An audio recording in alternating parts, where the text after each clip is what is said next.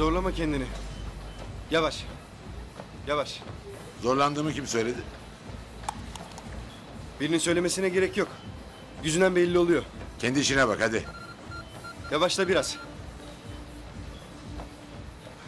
Gerçekten düğün üstü bir sakatlık çıkarma sende. Kayınpeder damattan daha yakışıklı görünecek diye korkuyorsun değil mi? Sence bu mümkün mü? Allah'ım kızımı bir megalomana veriyorum kendi ellerimle.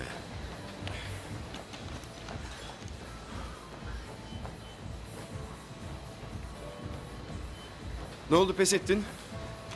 Soluklanayım biraz. Nefesimin hepsini burada tüketirsem bugün toplantıda ne yapacağım? Sen gerçekten gelmek istiyorsun değil mi toplantıya? Tabii amca istiyorum. Bundan sonra seni holdingle daha çok görmek istediğimi söyledim ama baskı yapmak istemiyorum yine de. Başka bir alanda çalışmak istiyorsan engel olacak değilim. Hayır. Seninle çalışmak istiyorum. Nihal'le olan durumdan önce de böyle konuşmuyor muyduk zaten? O zamanlar başka şeyler de konuşuyorduk. Her sene aynı planla çıkıyordun karşıma. Her sene okulunu bitiriyordun. Hemen arkasından askere gidip geliyordun. Hiçbiri gerçekleşmedi. Şimdi bir de evlilik sıkıştırdın araya. Ne o? Fena mı oldu? Sorumlulukların arttı. Bundan sonra verdiğin sözleri bir bir yerine getireceksin. Okul bu sene kesin bitecek. Yok düğün telaşıydı, yok holdingde işe alışıyordum anlamam ona göre. Okul bitecek. Tamam amca.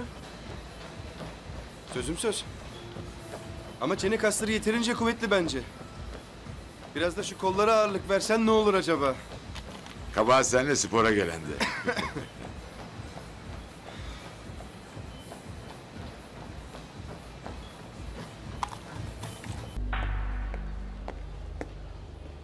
Merhaba, hoş geldiniz. Merhaba, hoş Hoş Merhaba. geldiniz Firdevs Hanım, buyurun. Hoş geldiniz Firdevs Hanım, merhaba. Merhaba, hoş bulduk.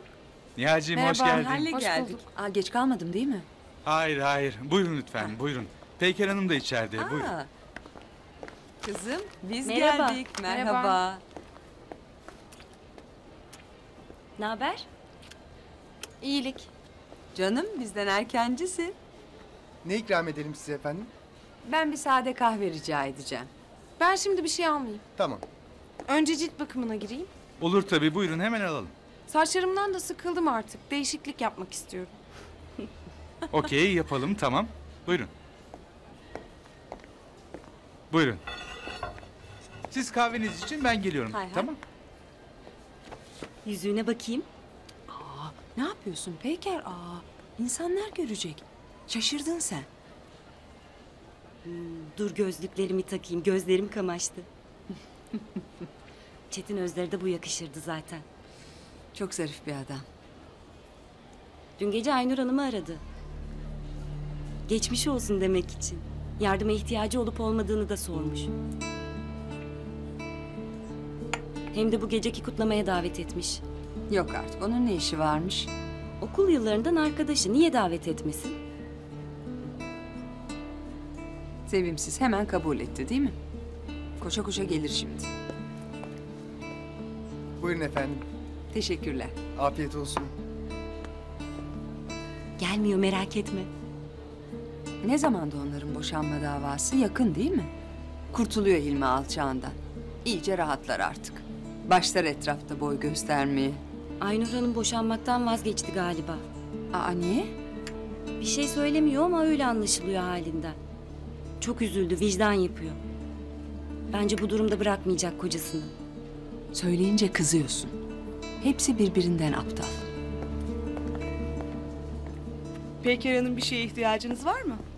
Kanalımıza abone olarak tüm videolardan anında haberdar olabilirsiniz.